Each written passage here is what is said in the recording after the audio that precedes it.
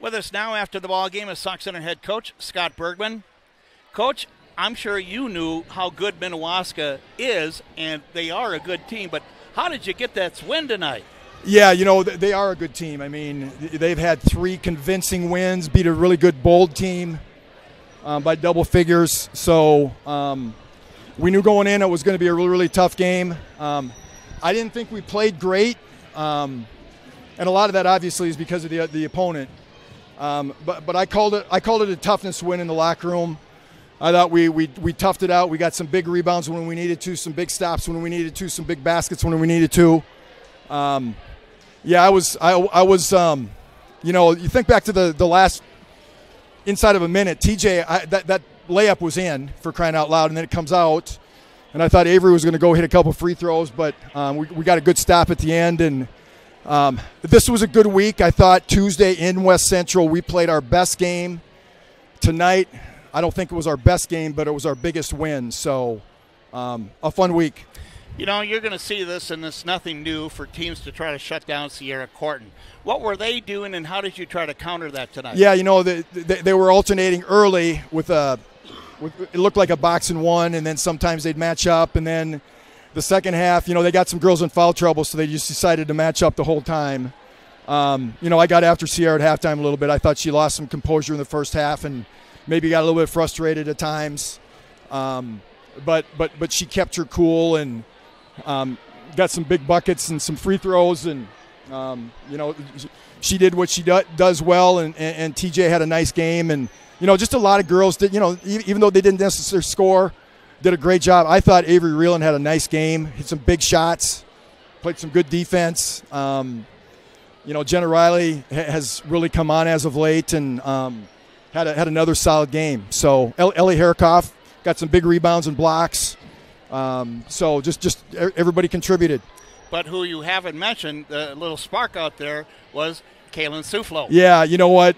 Um, I got to be honest. I've been struggling with, with, with what to do with Kaylin as far as is how to divvy up her halves. I mean, we, we tell her she's going to play three halves uh, a night, um, and, and, tonight, the, this week she played both halves of the JV, and then um, the second half of the varsity, and she came in, and you're, you're right, she sparked us.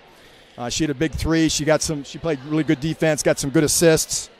Um, so um, th- that was fun. I mean, a, a big credit to Kaylin. I mean, she could have. You know, we, we, talked about how don't take this as a as a demotion. Playing two has a JV. We want you to get minutes, and she just dug in and, and really played well. You know, as you mentioned, TJ, that's Tori Jennison. You watch her play, and uh, as a fan, it's like we expect so much out of her, but she is doing a lot of things. Can you kind of describe on her play right now? Yeah, first of all, she gets pounded down there all the time. I mean, um, she draws a lot of attention, and um, no, I mean, she's her, her, game has progressed. She made some tough buckets underneath, tough catches just to just to, to, to convert. Got some big rebounds and some blocks. Um, she she had a really nice game. Well, you know, the teams that you end up playing here. Uh, let's maybe touch on last Saturday against Crosby Ironton. But uh, again, Sauk Centre, you face good competition, but you're not afraid of that. And I think, are these girls ready to do that? Yeah, I think so. I mean, you know, it's we always think, talk about it's going to get us better at the end, and um, it, it's a it's a process. It's a it's a journey, and and you know, again, I thought uh, I, I, thought in the end our, our, girls playing in those tough games I thought helped us um, tonight, especially. Um, you know, there were some situations where I didn't I didn't think we handled it very well, and, and we got to do that. We got to do better, and we will. We will. You know, it's early, and um, you know we've played five games in a short period of time, so I'm thrilled that we're, we're going to give the, the girls the day off for, for practice wise. We're going to get them in the locker or in the weight room tomorrow morning, and then give them the day off from practice, um, and then have a have a good week. We just got a one game week next week. I, I, I shouldn't say just. It's it's versus Albany. Um, but you know, I, I thought that uh, you know I, I, think we're off to a good start. You know, as you mentioned, a, a tough team and not afraid. But uh, here comes Albany. How good are they going to be this year? They are phenomenal. I, they've they've got it all. Um, you know, they, they, they bring pretty much everybody back from a team that, that got second in the state last year. Um, you know, this is I don't want to put pressure on them, but this is their year because I mean they, they bring everybody back. They got a they got a couple college level players, and you know what I appreciate about Albany is is they just go out and play hard. They're not trash talking or anything like that. Like like teams that are that good, a lot of times they they, they let you know, and, and they don't. They just play, and that's that that means they're they're, they're well coached. Um, and, and so I'm looking forward to the challenge, seeing seeing where we're at. Um, I know they played Holding Holdingford Tuesday night, and I think they're up by 40 at half against a team that I think is pretty darn good. So, um, no, it'll be a big challenge, but you know that's what we're all about. Well, you know, hey, go out there and play. That's what you're here Absolutely. for. Absolutely, right? you better all believe right. it.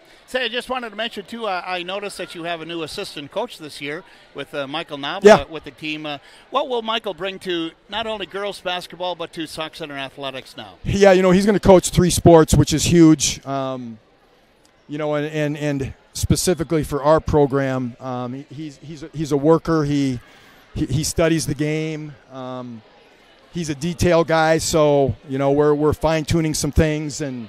Um, no, he's been a great addition, and, and I just I just enjoy working with him and and um, looking forward to, to, how good we can get with, with him coming along. You know, I think we should mention too, just his work in the weight room, right? Correct. Yeah. No, he's he'll be leading our team in the weight room tomorrow, and you know he that's going to be a big thing. And you know, I I, I can already see it with you know a, a gal like TJ. Um, you, you can see that she's gaining confidence on the floor because she's stronger, and that's uh, part of that, a big part of that, is her work in the weight room. You know, I want to expand maybe just for a second too, with especially girls lifting weights. They need to do that, don't they? Yeah, they need to get stronger, and you know, not bulky or anything, not not to slow them down, but they, they need to get stronger, and, and that makes them quicker and gains confidence as well.